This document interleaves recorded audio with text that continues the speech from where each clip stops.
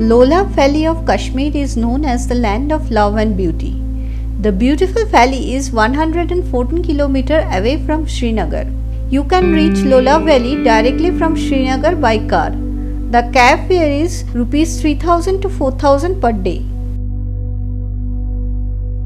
The gorgeous valley is situated at an altitude of 5500 feet and it is 25 km long and 5 km wide. According to the legend, famous Hindu sage Rishi Kashyap lived in this valley and for this reason the Indian state is named after him, Kashmir.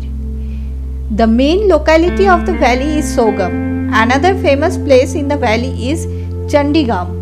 Surrounded by pine and fir trees, Chandigam is a beautiful place and is quite popular for agricultural work. Plenty of rice and corn grows in this place. Main places to visit in Lolab Valley are Lalkul and Dalkul River. The two rivers flows through the valley. Lavnag Waterfall. This stunning waterfall is located in Lalpora. Other than Lavnag, the valley is also filled with many beautiful lakes, streams and waterfalls. Satbaran. It is an ancient stone architecture with seven doors. Kalarush Cave.